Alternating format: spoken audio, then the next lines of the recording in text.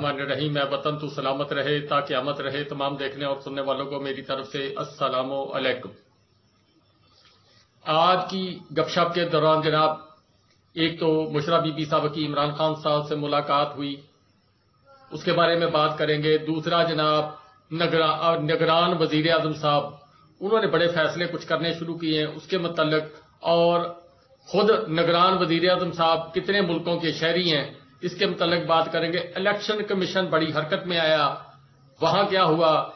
और इसके अलावा इमरान खान साहब का जो केस है, तोशाखाना का, उसके मतलब कुछ खबरें हैं, वो शेयर करने की कोशिश करूँगा। लेकिन इस वीडियो की सबसे अहम बात यह है कि पाकिस्तान तहरीक इंसाफ जिस पर क्रास लगाने की कोशिश की गई, जिसको तोड़ा गया, जिसको मरोड़ा गया, जिसके लोग भगाए गए, उन सब लोगों में से जो अहम तरीन बात है कि कितने लोग और इसमें शामिल हो रहे हैं। बुशरा बीबी साहबा और पाकिस्तान तहरीक इंसाफ के वकला की टीम जो है, जो इमरान खान साहब के केस हैंडल कर रहे हैं उसमें नईम पंजोता साहब हैं, शेर अफजल साहब हैं और लतीफ खोसा साहब, इसी तरह बहुत सारे लोग हैं जो पाकिस्तान तहरीक इंसाफ के, इमरान खान साहब जिनके ऊपर तकरीबन 200 के करीब केसेस हैं, उन केसेस की पैरवी कर रहे हैं। तो आज मुलाकात का दिन था, बुशरा बीबी की वहाँ पर, तोशाखाना केस के अंदर, वहाँ उनकी अपनी तलबी भी थी। तो इस सिलसिले में उनकी मुलाकात का आज टाइम फिक्स था। तो उन्होंने आज इमरान खान साहब से जब मुलाकात की तो पहले तो जनाब उनको तकरीबन इंतज़ार करवाया गया जिस तरह हसब आदत है, ताकि इनको खराब किया जाए। फिर उसके बाद जो डिप्टी सुप्रिटेंडेंट है जराये के मुताबिक उनके कमरे के अंदर मुलाकात करवाई गई। बुशरा बीबी की पैंतालीस से एक मिनट से लेकर एक घंटे तक मुलाकात हुई है। इस मुलाकात के दौरान इमरान खान साहब और बुशरा बीबी पर चेक एंड बैलेंस पूरा रखा गया। जराये के मुताबिक कुछ लोग वहाँ पर मौजूद रहे कि ये क्या आपस में बात करते हैं। और इसके अलावा कुछ और भी चेक एंड बैलेंस होगा। सीसीटीवी फुटेज भी बन रही थी। लेकिन इमरान खान साहब ने कोई ऐसी बात तो नहीं वहाँ की होगी जो होगी, लेकिन उन्होंने जो मैसेजेस अपने लोगों के मतलब जो दिए हैं, वो जराये के मुताबिक वो ढके छुपे नहीं है, उन्होंने सरेआम बोले होंगे। वो कुछ पाकिस्तान तहरीक साहब के सीनियर जो रहनमा है, उनकी तरफ़ से तस्दीक की गई है। अभी सोशल मीडिया पर तो नहीं आई वो बात, लेकिन आ जाएगी। अब उसमें नईम पंजोता साहब ने जो अदालती कार्रवाई, उसके ऊपर प्रेस कॉन्फ्रेंस की है वो मैं आपको बताता हूँ इसके साथ साथ। लेकिन बुशरा बीबी साहबा को इमरान खान साहब ने ये मैसेज दिया कि आप जाकर मेरा मैसेज कन्वे कर दें कि ये मुझे दबाव के अंदर रखना चाहते हैं, दबाव के अंदर रखकर मेरे ऊपर मजीद केसेस बढ़ाएँगे, बढ़ाने के बाद मुझे जरा लंबा जेल के अंदर रखने की कोशिश करेंगे। मैं यहाँ पुरस्कून हूँ। अगर मुझे रिलीफ दिया गया, किसी दूसरी जेल के अंदर शिफ्ट किया गया तो ठीक है, ना हुआ तो मैं यहाँ पर इनका मुकाबला करूँगा, लेकिन मैं आप कंप्रोमाइज नहीं करूँगा।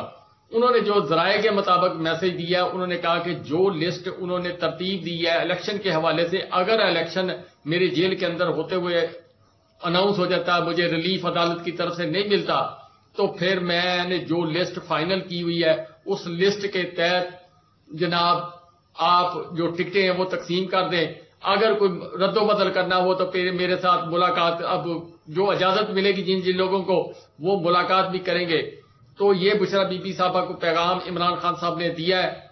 और इसके अलावा अब आने वाले दिनों के अंदर मजीद इमरान खान साहब के ऊपर जनाब केसेस जो वो बनाए जाएँगे। और जिस तरह आज हुआ जी के नौ केसेस थे, ये तोशा खाना के मतलब की यानी जिस तरह मतलब के चौराहा होता है चौराहे के अंदर इमरान खान साहब को कर, खड़ा कर दो इधर से भी गाड़ी आ रही है जी तोशाखाना की इधर से भी गाड़ी आ रही है बल्कि छह रास्ते आठ रास्ते दस रास्ते जितने भी उस चौक को लगते होंगे सेंटर में इमरान खान साहब खड़े होंगे फैसलाबाद के घंटाघर की तरह और उसके बाद जनाब तमाम तरफ़ से लोग जो हैं वो हमला करेंगे तमाम लोग वो आकर तोशाखाना की पर्ची पकड़ी होगी वही आकर हमलावर होंगे उसमें अदारे भी होंगे उसमें जनाब हुकूमतें भी होंगी, उसमें सबका जनाब सिविल ब्यूरोक्रेसी के लोग भी मावनत देंगे। और इसी तरह बहुत सारे लोग होंगे जो उसमें सहूलतकारी करते हुए नज़र आएँगे।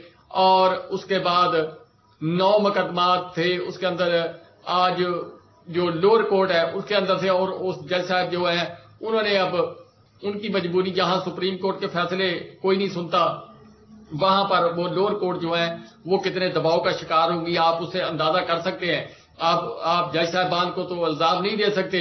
माहौल ऐसा चल रहा है। इस वजह से उन्होंने जनाब नौ केसेस के अंदर इमरान खान साहब की जमानत कैंसिल कर दी है।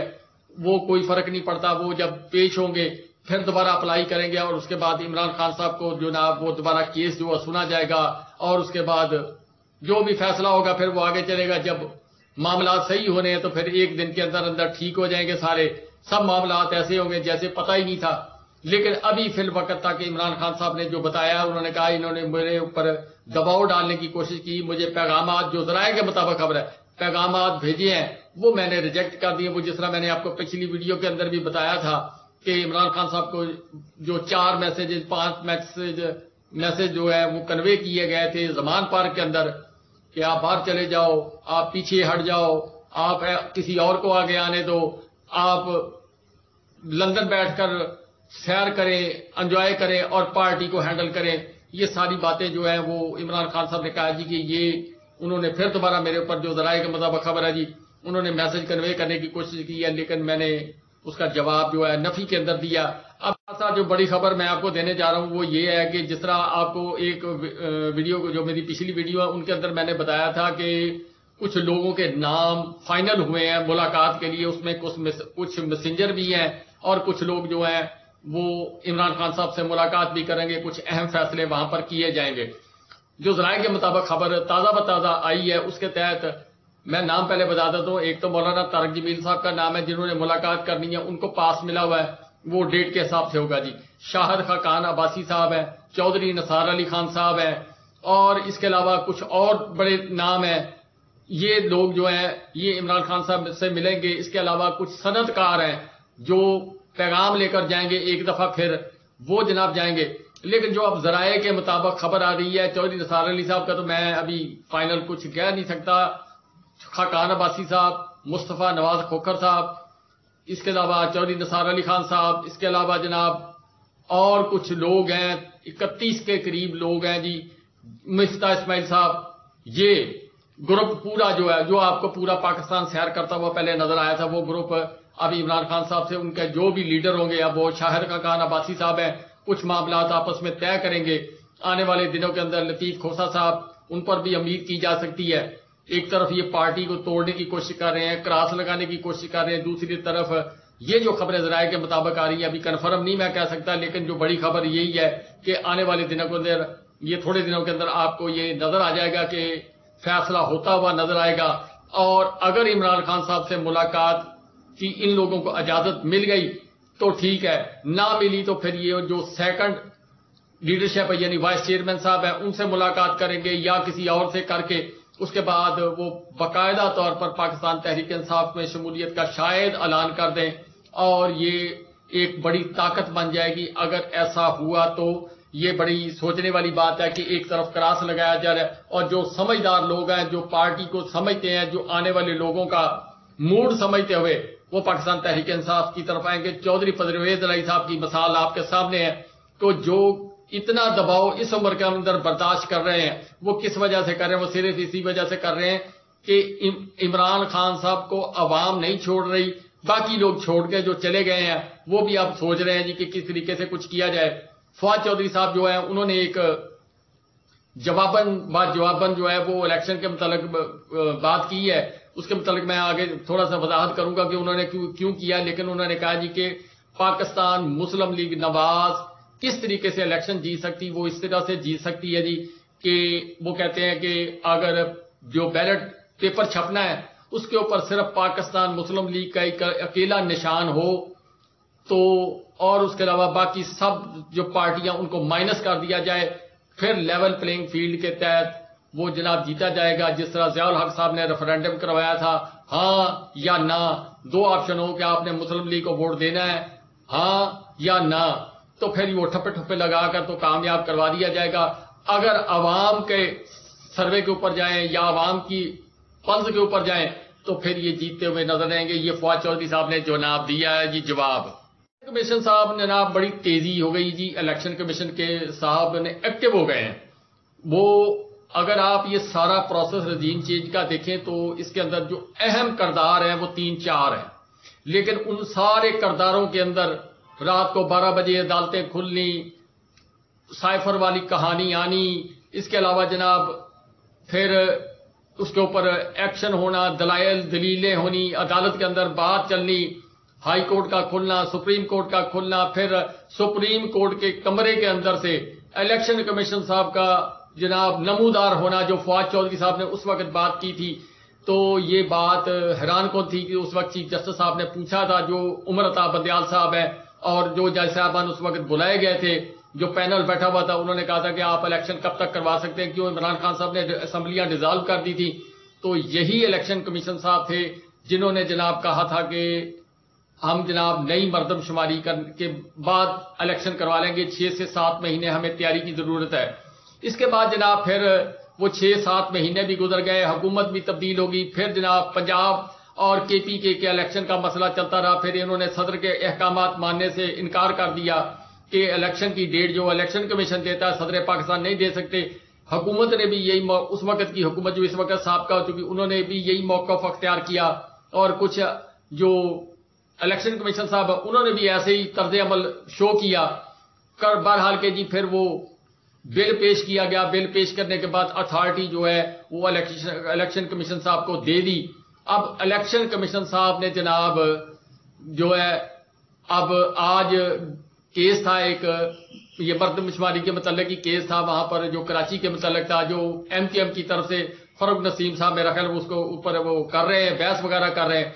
तो उसमें जब वो इलेक्शन कमीशन साहब के जनाब जो अटॉर्नी जनरल साहब या जो, वो जो भी एडवाइजर है लीगल एडवाइजर वो पेश हुए हैं तो जब चीफ जस्टिस उमर अताब बंदयाल साहब ने पूछा कि ये बड़ा एक सीरियस मसला है जो मरदमशुमारी वाला है तो क्या आप इलेक्शन करवा सकते हैं या नहीं करवा सकते तो उन्होंने कंधे ऐसे करके ऊपर किए कि मुझे नहीं मालूम। और उसके बाद जनाब चीफ जस्टिस साहब मुस्कराए और मुस्कराने के बाद वो समझ गया कि अभी इलेक्शन करवाने का कोई प्रोग्राम इनका नहीं है। तो बहरहाल के बाद से वो निकले। फिर दूसरा जो उन्होंने एक्शन किया जी के तमाम मरात जो पिछली हुकूमत थी, उनके गुजरा को हासिल थी, गाड़ियाँ थी, बंगले थे ये वो सारे जनाब उन्होंने कहा जी, फौरी तौर पर वापस किए जाएँ, बंगले खाली किए जाएँ, गाड़ियाँ वापस की जाएँ, और इसके अलावा जो मालशी मुलशे रखे होते हैं, वो भी वापस किए जाएँ। ये सारे काम का एक आर्डर जारी किया गया। लेकिन बड़ी हैरान कौन बात यह है जी कि दूसरी तरफ़ एक आर्डर नया जारी कर दिया गया, जिस तरह तोहिन इलेक्शन कमीशन एक नई चीज़ आज थी आज उन्होंने एक नया काम और किया जी, माजरत के साथ कि अब इमरान खान साहब के सर्वे आते हैं, जब सर्वे करवाए जाते हैं, मुख्तलिफ़ टीमें सर्वे करती हैं तो वो लोगों को जनाब अपनी वी लॉस के अंदर और जनाब चैनल्स के ऊपर बताते हैं कि इमरान खान साहब की जो इस वक्त सूरत हाल है, वो 65 परसेंट है 71 परसेंट है 70 परसेंट है 81 परसेंट है। तो इन्होंने कहा, ये तो मामला जो है, ये खराब जा रहे हैं, हमारी तो हवा खराब हो रही है। फिर उन्होंने जनाब कई मिन्नत की होगी कि इसके ऊपर पाबंदी लगाई जाए तो इस पर जनाब इलेक्शन कमीशन साहब ने आज आर्डर जारी किए हैं कि कोई यूट्यूबर, कोई जनाब इलेक्ट्रॉनिक मीडिया या कोई और बंदा जो है, पोल सर्वे जनाब वो नहीं करवा सकता, ना फेसबुक पर ना ट्विटर पे, ना किसी और जगह पे। क्यों? वो जनाब दूसरों के हकूक जो है, वो सलब होते हैं। तो जनाब, आप कैसे रोक सकते हैं? लोग इसके सौ तरीके, इसको तो दुनिया के अंदर कोई बंदा रोक ही नहीं सकता। पूरी दुनिया के अंदर सर्वे होते हैं, हर शहर के अंदर सर्वे होते हैं। और सर्वे आपके वज़ीर आज़म साहब जो अब सबका हो गए उन्होंने भी जाते जाते करवाया था। गवाल मंडी का आखिरी सर्वे जनाब आया था, जिसके अंदर, यानी नवाज़ शरीफ साहब के अपने हल्के के अंदर छोटा बच्चा था। उसने कहा था कि जब मैं बड़ा हो जाऊँगा, जब मेरा वोट बनेगा तो मैं इमरान खान का वोट दूँगा। लेकिन दूसरी तरफ़ इलेक्शन कमीशन साहब जो है, वो पाबंदी लगाने की तरफ़ जा रहे हैं जी।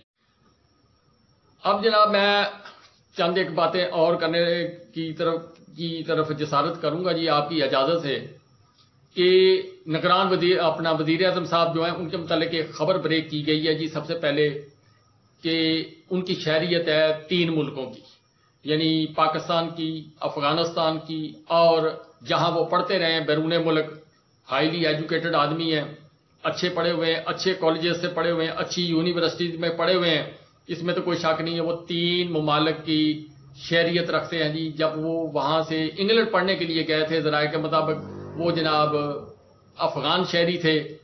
पाकिस्तानी, पाकिस्तान से वो माइग्रेट करके अफ़गानिस्तान गए, अफ़गानिस्तान से वीज़ा लिया, पढ़ने के लिए चले गए। पढ़कर फिर वापस आए, फिर वहाँ की शहरीत जो है, उनके पास है। अब इसके ऊपर जनाब क्या किया जाएगा? दोहरी शहरीत वालों के लिए कि तो फिर वो कानून है फैसलवाडा वाला। लेकिन इसको फिर मैनेज किया जाएगा, जिस तरीके से भी किया जाएगा, ये खबर है। दूसरा जनाब, आज उन्होंने सबसे पहला जो काम किया, जो पहला अजलास बनाया, वो मीशत के ऊपर बुलाया जी। अब मीशत के ऊपर अजलास बुलाना नगरान हुकूमत का काम नहीं है जी, लेकिन उन्होंने बुलाया। इससे आप समझ लें कि मामला किस तरफ़ को जा रहे हैं। तो उसके बाद जो स्टॉक मार्केट है, उसके अंदर जनाब मंदी आई डॉलर ऊपर को गया, तकरीबन पाँच रुपए डॉलर ऊपर गया। इसके अलावा जो जराये के मुताबिक खबर आ रही है कि आने वाले ये जो हुकूमत गई थी, पंद्रह रुपए और बीस रुपए पेट्रोल जो है बढ़ा के गई है। अब मजीद शायद, मैं कन्फर्म नहीं कह सकता, लेकिन जो जराये के मुताबिक खबर आ रही कि चौबीस से पच्चीस रुपए मजीद जो कीमतों में इजाफा किया जाएगा, बिजली का बिल मजीद बढ़ाए जाएँगे, यानी और उसके बाद उसका जो रद्द अमल आवाम के अंदर आएगा, जो आवाम के ऊपर महँगाई का बम गिरेगा, वो एक अलहदा बात है। अब ऐसे फैसले होंगे और उस ऐसे फैसलों के बाद फिर हम कहाँ खड़े होंगे? क्या हम, पहले हम एक वक्त की रोटी, तीन वक्त की रोटी से एक वक्त की रोटी पर आ गए हैं? अब ये निगरान हुकूमत अगर एक साल, दो साल, तीन साल, क्यों? इनका प्लान तो है जी तीन साल का। कोई इस बात को माने, ना माने। मैंने आज एक ट्वीट भी किया है तो उसके ऊपर, अब देखते हैं क्या रद्द अमल आता है। कि जियाउल हक साहब लेके आए थे जी मोहम्मद खान जिनेजो साहब को। मेरी बात जरा गौर से आप आप यहाँ से सुनेंगे। जियाउल हक साहब लेकर आए थे जी मोहम्मद खान जिनेजो साहब को और मौजूदा सिपर सलार जो हैं, वो लेकर आए थे जना लेकर आए हैं जी अनवारुल हक काकड़ साहब को। अब इसमें कितनी मुमासलत है? जिस दिन मेरे सिपा सलार साहब ने हलफ उठाया था तो मैंने एक ट्वीट किया था और उनको मुबारकबाद दी थी। उसके ऊपर मैंने लिखा हुआ था कि जियाउल हक और जनाब मेरे सिपा सलार साहब, इनकी अगर आप तस्वीरें रखें, मैच करके देखें, दोनों की शक्ल भी मिलती है।